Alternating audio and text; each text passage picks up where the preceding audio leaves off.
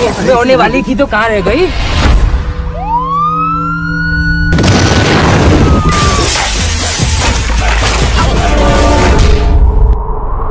Information is not knowledge सीडी पहली चीज़ अक्सर मिल जाती दूसरी को हासिल करना पड़ता है।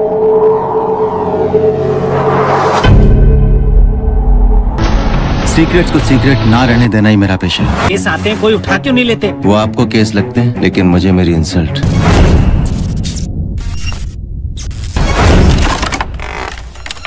my life mystery.